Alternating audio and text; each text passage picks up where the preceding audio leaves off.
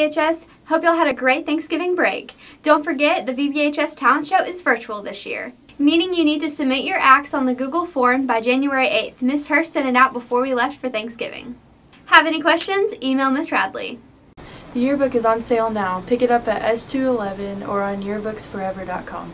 The toy drive is still going on until this Friday, December 4th. Help these kiddos have a great Christmas. The chess club is now fully operational. Contact Mr. Couch if you're interested on being on the team. Hey everybody, it's Brandon Miller back here with some more Pointer Pack News weather. Hope you're having a great Friday out there. Temperatures today are going to be around the 50 degree mark and we're going to have partly cloudy skies. As we look at the weekend weather, Saturday we're going to be seeing mostly cloudy skies with temperatures in the mid 50s. As we look at Sunday's weather, we should be seeing a little bit more sunshine with temperatures remaining in the 50s. Temperatures next week will mostly be in the 50s all week long with plenty of sunshine. Low temperatures will be in the upper 30s and low 40s. As we look at the world weather picture, torrential rain and multiple typhoons have ripped through the Philippines, turning a once picturesque river into a murky brown, setting off multiple deadly landslides. This has been Brandon Miller with some more Pointer Pack News weather. Don't forget about Sam. Signing off. I'm Tanner. And I'm Sam. And this is Pointer Pack News Sports.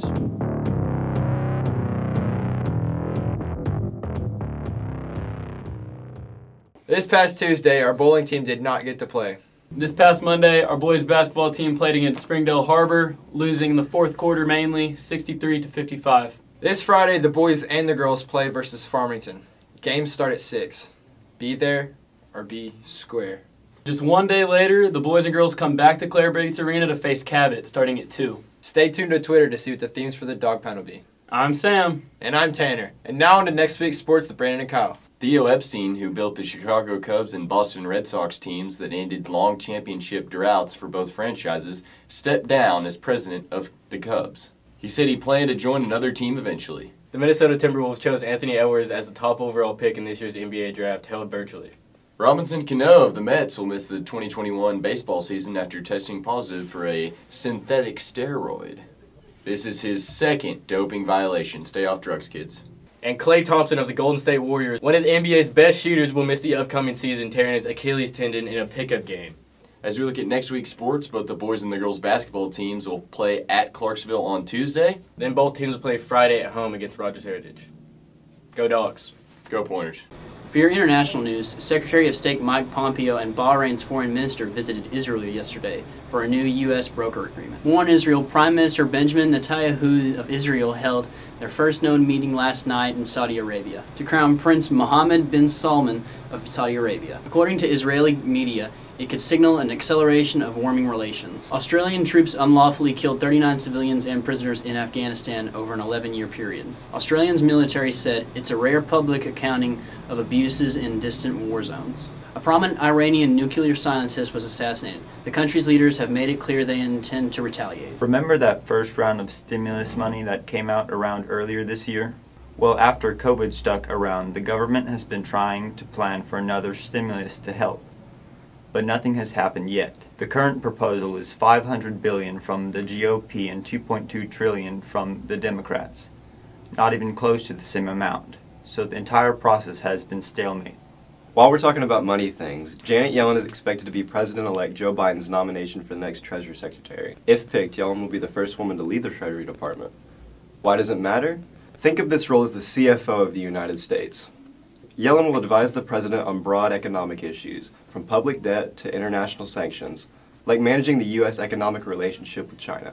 Biden has also announced the possible nomination for Alejandro Mayorkas to lead the Department of Homeland Security.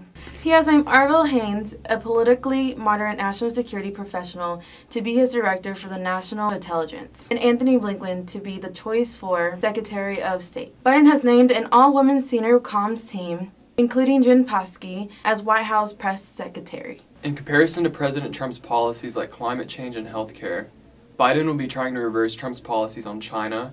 However, Biden instead seems set to accept Trump's basic diagnosis but strive for a more effective treatment in our ties and foreign affairs. More on Biden nominations. President elect Joe Biden is planning a climate administration. His aides are drafting orders to reduce pollution and seek a nominee who will embed climate policy across the government. Biden hopes to create millions of construction, skilled trade, and engineering jobs to build a new American infrastructure and clean energy economy. Under this plan, Biden promises to ensure the U.S. achieves a 100% clean energy economy and reaches net zero emissions no later than 2050. Amazon, the place where you can buy everything from a trampoline to a turtle cage to your prescription medicines. In 2018, Amazon bought the online pharmacy PillPack, but now it's a bigger initiative. Prime members can even get free two-day shipping and up to 80% discounts on generics. The big picture, it's a great option for these social distancing times, but it's a little daunting to think of the possible abuse of this access. Facebook CEO Mark Zuckerberg and Twitter chief Jack Dorsey are making frequent virtual appearances with the Senate Judiciary Committee. Why are they in the hot seat? Lawmakers are most concerned with the platform's content moderation policies, employing these guys to intervene less in user activity. We've talked about this before, but there's also the grand issue spread of misinformation, antitrust, and at the root of it all, if social media can be addictive. Conan O'Brien is ending his daily late night talk show on TBS and moving on to a weekly variety show on HBO Max. Would this even be news if we weren't going to talk about COVID?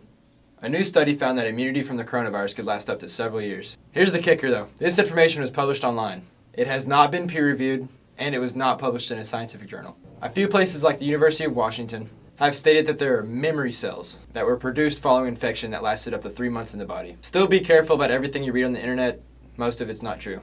Here's a quick roundup of regulations New York City closed in person learning. Ohio announced a three week curfew from 10 p.m. to 5 a.m. New Mexico is sheltering in place for two weeks. California reimposed restrictions on 94% of its population. Washington, Michigan, and other states are halting indoor dining, so has the city of Philadelphia. Iowa has done 180 mask mandates, facing high numbers in cases and deaths. Governor Kim Reynolds issued that all people above the age of two were required to wear face coverings. New Orleans said it would not host parades for Mardi Gras for the first time in 42 years. South Australia had issued an emergency six day lockdown because of a pizza delivery guy. Turns out this pizza delivery guy lied about close contact tracing and then they lifted the ban. Dolly Parton, the queen and living legend, is being credited as pandemic savior for her $1 million donation this spring to Vanderbilt University, the place that worked with drug maker Moderna to develop a vaccine. Thanks, Dolly. Pfizer and Moderna have been running mates on who will create the best vaccine. In the last episode, we discussed how success rates have been projected. As of two weeks ago, Pfizer said their shots were now 95% effective with no serious side effects. Both companies are promising results, estimating they will have enough doses to vaccinate 22.5 million Americans by January. Pfizer says maybe even middle of December. In other news, the Federal Aviation Administration cleared Boeing 737 MAX to fly again. The plane had been grounded for 20 months after two fatal crashes, killing 347 people in total. It's the longest grounding of a jet in U.S. history, and the cost has been around 20 billion. And Dennis Muilenburg was replaced. Also, the first flight is scheduled on American Airlines route from Miami to NYC on December 29th. Based on a Twitter poll from the Morning Brew, 54% of respondents say they wouldn't fly on this plane. U.S. retailer Guitar Center has declared bankruptcy as music lovers move their shopping online. Guitar Center began in 1959 as a store selling home organs in Hollywood. More on music. Ever heard of a genre called hyperpop? Spotify certified hyperpop as a budding musical genre by creating a playlist by the same name. Hyperpop is a parody of pop the playlist main editor Lizzy Szabo told Vice. It almost pokes fun and pushes the bounds of that kind of quirky traditional radio pop star sound. Here's a quick soundbite.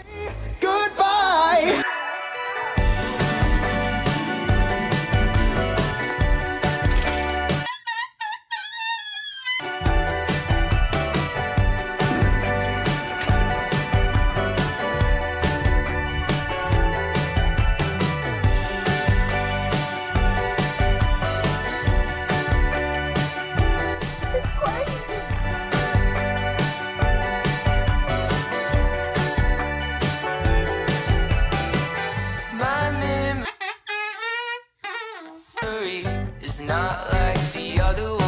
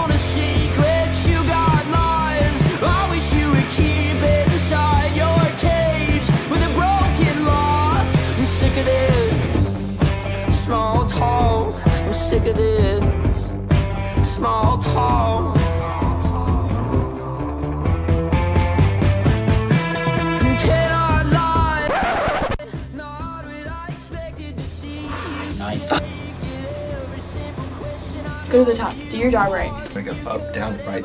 So you got the script or what? You got. I'm Alex. And this is. Bam! Miss. Honey.